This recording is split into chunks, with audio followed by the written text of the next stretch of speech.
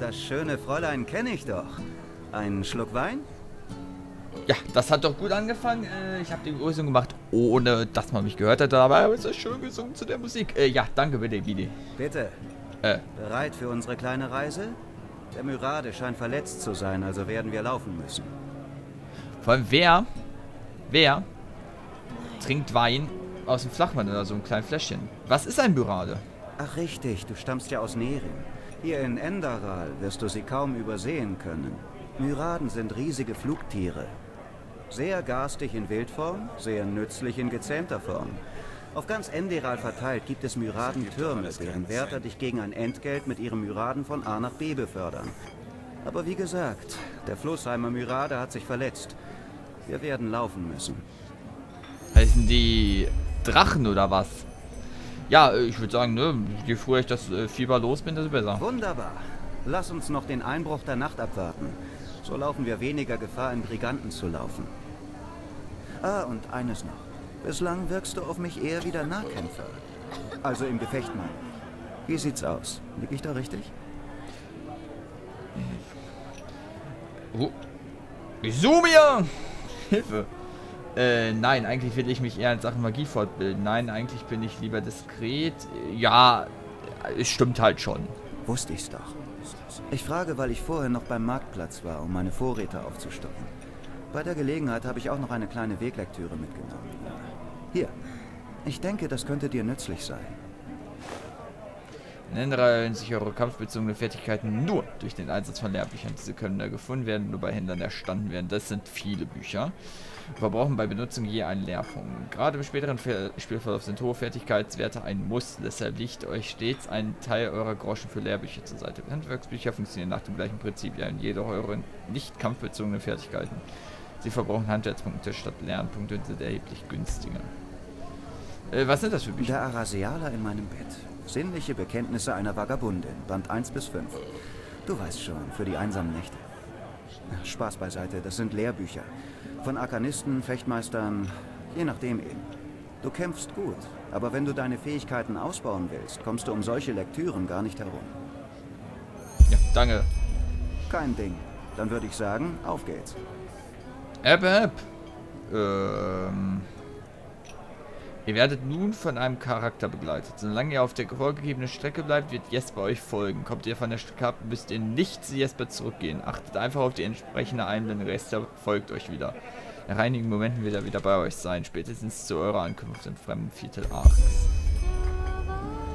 Interessant. Ich habe übrigens jetzt ähm, es auch tatsächlich mal geschafft, V-Sync auszuschalten und nicht nur die Funktion zu finden, dass man das ausschaltet. Das hat auch schon Skill erfordert.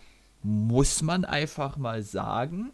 Wir haben nämlich jetzt ein Let's Play von Skyrim, was gut funktioniert, weil scheiß V-Sync. Ich verstehe das nicht. Ich verstehe nicht. Ich will eine Petition machen gegen V-Sync. Warum existiert so ein Scheiß? Das ist nur Scheiße. Das macht nur Frame-Einbrüche. Das macht die Leistung schlechter. Das macht... Ah, das hat keinen richtigen Vorteil. Das hat... Ich verstehe es nicht. Ich verstehe Menschen, die V-Sync nutzen, nicht, denn V-Sync ist einfach einer der größten Scheiße, die es gibt. du vor. Wir müssen nur aus Flussheim raus, den Hügel hoch und dann sind wir auch schon am Bergpass. Von da aus kann man dann Arg auch schon sehen. Und du könntest bitte deine Lippen animieren. Danke. Mann. Wo sind wir denn hier gelandet? Seht ihr, es läuft euch schon deutlich flüssiger, nämlich ohne V-Sync. Es ist einfach... V-Sync ist einfach kacke und du hast einfach... Nein. Es ist einfach ein Scheiß, ist das einfach. Und ich finde das mit dem Begleitersystem, muss ich jetzt nochmal korrigieren. äh, Also nicht korrigieren, ich habe vorher gar nicht falsch gesagt. Also, beziehungsweise falsch gibt es ja nicht eine andere Meinung gehabt. Ähm, ist, ist ein interessantes System. Ich finde es halt nicht schlecht. Äh, dass wenn man vom Weg halt abkommt, aber ähm, es ist halt auf jeden Fall wirklich ein anderes System. Ja, und dass wir Begleiter haben, ist eh immer gut. Also ich, ich liebe Spiele, wo man Begleiter hat. Das ist für mich, also nicht kein Muss, aber es ist halt schon, macht deutlich viel besser, wenn man nicht alleine rumlaufen muss. Hier sind wir ja überhaupt schon überall lang gelaufen, wegen seinen Nebenmissionen, würde ich jetzt mal gerade vermuten, war das ja, ne? Heilwurz. guck mal. Perfekt, der Saft der Pflanze. Bei mir, was? Nee, eh, nee, ich führe den Satz einfach nicht weiter aus und ist schon gut, glaube ich. Ähm, das, nein. Nein, nein, nein. Das würde nur zu einem FSK 18 Waiting führen von diesem Let's Play. Äh, stell vor, ne, wäre irgendwann mal bekannt, das gucken Menschen dieses Let's Play. Oh Gottes Willen, dann müsste man sich ja äh, schämen. Und das kann ich äh, damit vermeiden. Und dieser Mond ist schön. Beziehungsweise, also der Himmel halt nicht. Der ist halt echt hässlich. Ähm. Das ist so, oh, das erinnert mich ja Zeiten früher, wo man wirklich so.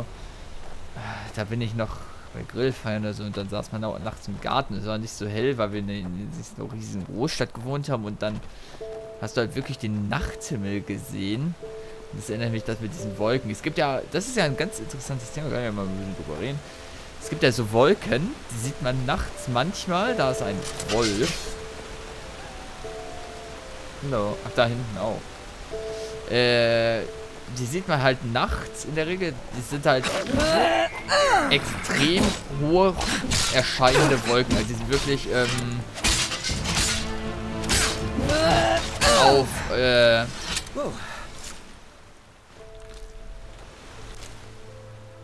äh, auf, auf Stratosphärenhöhe. Das ist ja schon außerhalb der kompletten Troposphäre, wo ja eigentlich kein Wetter mehr stattfindet. Das sind nämlich auch keine echten Wolken mehr, die halt durch ähm, Bodenaktivitäten, also durch Wasserauftrieb entstehen, sondern halt, ähm, ich weiß nicht genau, durch welches Phänomen die nochmal entstehen. Aber es ist halt nicht das, wie normale Wolken halt entstehen. Und wer bist du? Freund oder Feind?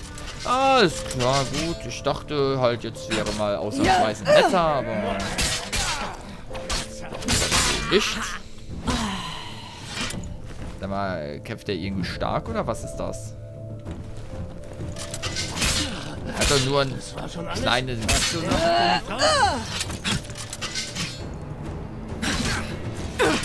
Er hat doch nur so einen kleinen Messer. Wie kann er denn so viel Schaden machen? Boah, die Musik ist aber gerade gut. Geht vorher aber noch nicht.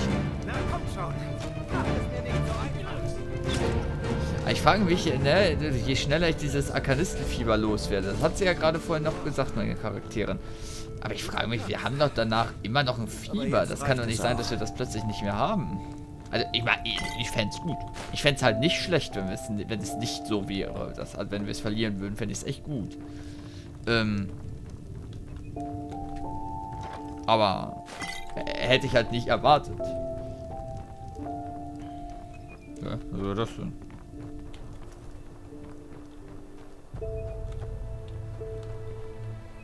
Ich hatte das Gefühl, hätte noch eine sein müssen. Naja, und, und, halt diese Wolken, die sind halt extrem hoch und man denkt immer, es wären ganz normal, aber das sind halt komplett andere Wolken und die sind, ach wie hoch, das ist ja quasi ja schon über der Kaiman-Grenze und halt so schon fast definiert als Weltraum. Weswegen ähm, kann man halt nicht mehr echt als Wolken bezeichnen. Also sie sehen halt exakt so aus wie so normale ähm, Strato-Nimbus-Wolken oder sowas. Was haben wir hier jetzt für ein Lager? Was hier kommt hier? Das sieht anscheinend ganz nah aus auf dem Radar. Was ist das hier für Nebel? Mensch. Morning Fox ist übrigens eine Mod, die habe ich noch nicht... Mit Jesper im Aussicht zum Reden, okay. Die habe ich noch nicht... Das ist doch mal eine Aussicht, oder? Allein für solche Momente lohnt es sich zu leben. Hier war früher mal ein Handelsposten, aber seit der Abschottung ist er verlassen. Die Abschottung? Ja, so nennt man den Erlass, der vor gut 30 Jahren hier gefällt wurde. Einfach gesagt wurde durch ihn der Handel mit anderen Ländern stark eingeschränkt. Eine ziemlich unwirtschaftliche Entscheidung, aber ungefähr zeitgleich verließ der lichtgeborene Erodan Nerim. Und ich denke, der Orden hatte Angst, dass dasselbe hier auf Enderal auch passiert. Du weißt schon, rebellisches Gedankengut und so weiter und so fort.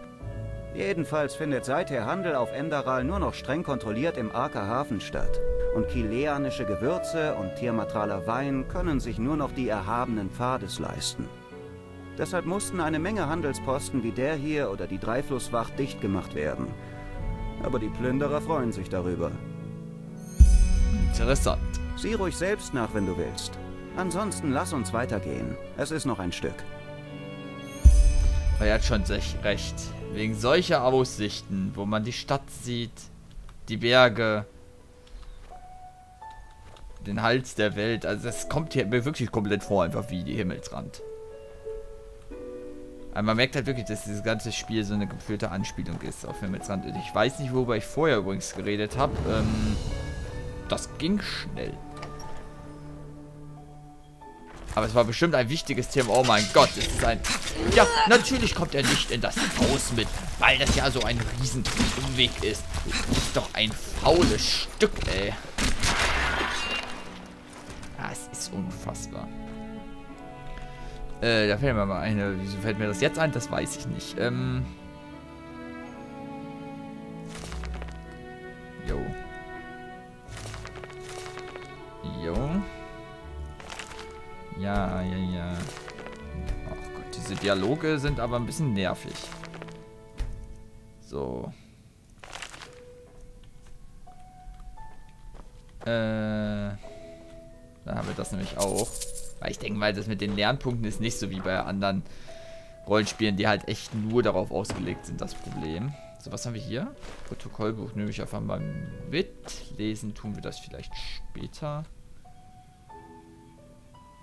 Das ist, ist glaube ich, nicht wert vom... Ich habe das Gefühl, es wird gefährlich. Okay. Sehr interessant. War, hat sich gelohnt, hier reinzugehen. Auch wenn ich nicht weiß, warum er nicht da reingeht. Mhm. Das muss man nicht sagen. Vor allem mit dieser Musik. Und, äh, wo müssen wir hin?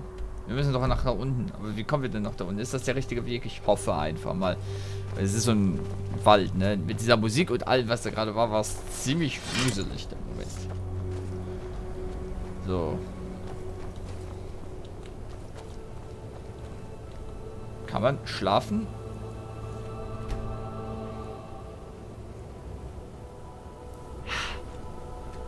schönes Bett, so mitten im Schnee, total erkältet. Ist doch wunderbar, da geht's der Lunge doch direkt gut. Was ist das hier für Farbe? Das kommt mir vor, als würde ich gerade ein bisschen irgendwie Fallout 3 spielen oder ähm Die kommt mir größer vor.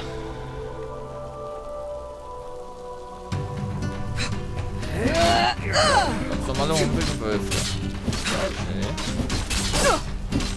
Ich frage mich gerade, eigentlich muss das ja sein, aber ähm, wenn ich Einhand skille, mache ich doch auch mehr Schaden, ne? Oh, ein Tagebuch.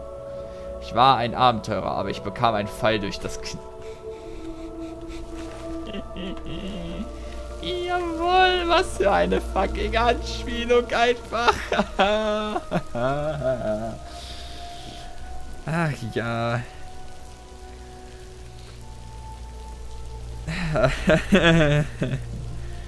schön, schön, schön, dass diese Anspielung kam. Also. I used to be an adventurer like you, but then took a nap in the knee. Schön, schön. Das finde ich richtig gut gerade. Wertet nochmal 100 Stärken auf. So, wer bist du? Du bist aber jetzt wirklich nicht feindlich, oder? Hey, ihr da. Könntet ihr mir einen kleinen Gefallen tun? Mein Bruder Ulver frisst sich drüben im Wald die Hucke voll. Während ich Idiot an der Brücke Wache schieben muss, weil die Banditen jeden Moment kommen können. Sagt ihm, der soll seinen fetten Hintern aufschwingen und sich auf die Jagd machen. Deshalb sind wir hier. Gut. Äh. Mache ich. Das ist ja jetzt, äh, vermute ich mal, nicht ähm, wirklich äh, aufwendig. Morgen. Was wollt ihr? Haut ab, hier gibt's nichts zu sehen. Nicht? Euer Bruder schickt mich hier, sollt ihm bei der Jagd helfen. Ach, sagt ihr das? Dann hört mir mal gut zu. Seit wir von Ark zur Jagd aufgebrochen sind, macht der nichts anderes, als sich die Hucke voll zu saufen. Bis er wieder trocken ist, bewege ich mich keinen Fingerbreit von dir. Richtet ihm das aus. Leute, was ist das denn? Was seid ihr denn für Leute? Eine besoffen, der andere verfressen. Es ist unfassbar. Ulver sagt, ihr tut den ganzen Tag nichts anderes, als euch die Hucke voll zu saufen und solltet erstmal ausnüchtern. Ist dieser Watyrensohn dann noch zu retten? Sagt ihm, er soll nicht so großspurig auffahren und seinen Arsch hierher bewegen. Und war davon überzeugen, das nicht zu tief in die Flasche zu schauen. Oder sagen, dass er seinen großspurigen Hinterher schicken soll. Weißt du, anstatt dass ich einfach sage, ja, Leute, ihr steht 20 Meter voneinander entfernt. Bulma meint, ihr sollt mal nicht so großspurig auffahren und euren Arsch zu ihm Ah ja, soll ich das? Und sagte mal, dass mich, was er will, so viel interessiert, wie die Arschhaare eines nackten Vatieren. Ja, komm ja da ein bisschen dumm vor hier. Ja. Was ist das denn? Ulver sagt, was ihr wollt, interessiert ihn sehr wie die Arschscheine Haare eines nackten Watyren. Jetzt reicht's. Haut ihm für mich eine über. Ich halte mich da raus, haut ihm selber eine rüber, wenn euer Seelenfrieden davon abhängt. Das werde ich auch. Ulva, jetzt werde ich's dir zeigen. Oh mein Gott, was geschieht hier? Eskalation! Hoch die Hände. Das ist die falsche Richtung. Äh. Äh. Äh. Äh. Aha. Eskalation! Prügelt euch! Los! Los! Ich wette auf Ulver. 20 Groschen auf Ulver. Komm, die Quote steht 1 zu 15. Das läuft, das läuft, das läuft. Das schafft ihr, das schafft ihr, das schafft ihr. Ähm. Hallo? Ha. Hallo? Ha. Ha. Ähm. Ähm. Sag mal.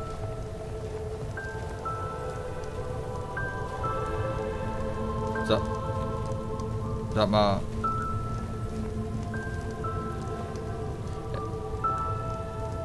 Seid ihr ganz noch irgendwie zu retten oder so?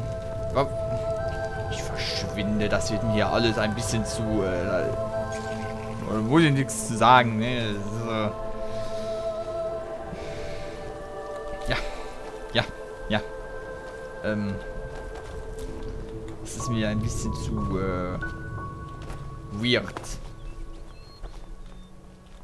Ah, dieses Sims-Geräusch. Ich kenne das halt original nur aus Sims.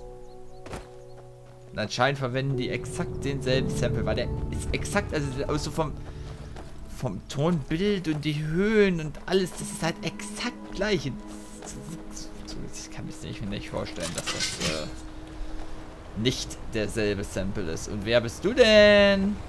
Ein Säbelzahntiger.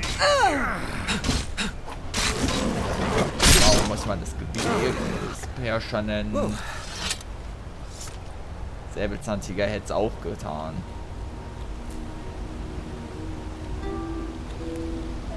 Ich, ich, wieder unfassbar. Ich habe immer die Hoffnung, hier ein paar Eispranken zu finden, aber irgendwie sieht das so unerfolgreich aus. Jetzt riecht. Wieso regnet das denn in diesem Spiel immer? Dadurch gehen die FPS einfach immer nur runter. Huch.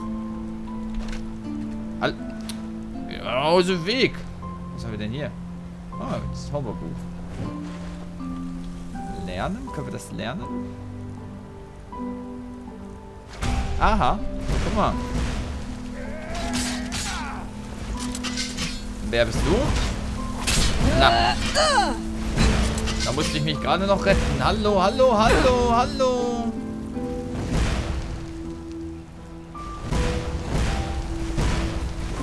Könnt ihr mal bitte in den Nahkampf gehen?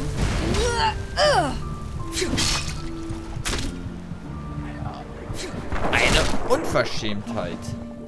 Hä? Was geschieht hier? Ektoplasma.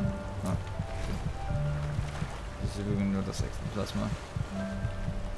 So, jetzt geht's mir aber nicht so gut. Ähm, das sollte ich tatsächlich was essen, glaube ich. Mm, ein Lauch und äh, Lachs und eine Kartoffel und äh, ja. Reicht das vielleicht? Für einen gewissen... Sieht doch gut aus. Ich würde ein bisschen mehr noch draufhauen. Vielleicht zwei Äpfel. Das dürfte aber dann schon... Ja. Nochmal zwei und dann sind wir voll, ne? Ja, ja, perfekt. Perfekt, perfekt. Äh, achso, wir sind hier in der Schleife gelaufen. Ah, okay.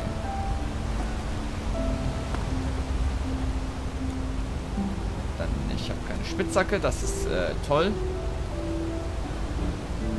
Äh, bevor wir hier die Gegner machen, ich verstecke mich mal, ähm, mache ich einen Cut bis zur nächsten Folge und tschüss.